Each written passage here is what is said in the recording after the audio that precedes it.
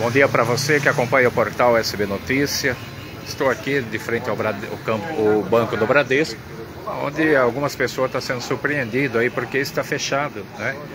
Aliás, tem uma nota aqui falando que esta agência está temporariamente fechada para higienização e cumprimento de medidas de prevenção de combate ao novo coronavírus, né? Algumas pessoas vêm chegando aqui né?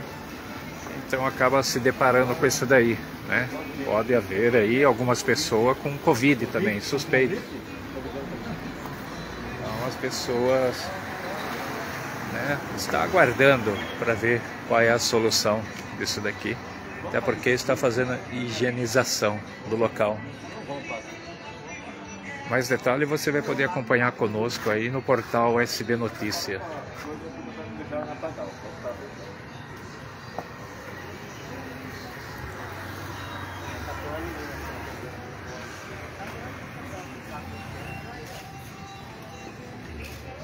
Aqui existe, né? Deve ser outro que é de atendimento, mas está assim. Então as pessoas acabam ficando surpreendidas.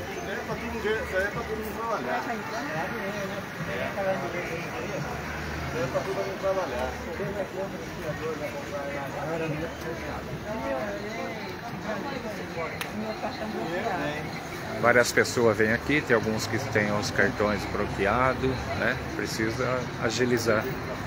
Mas fica aqui, tem quatro, cinco cartazes falando que está temporariamente fechado para higienização, que é o Banco do Bradesco, da área central de Santa Bárbara do Oeste, como você pode observar. Pode pegando muitas pessoas de surpresa, né? E já vem, né? Então fica o registro aqui pelo portal SB Notícia.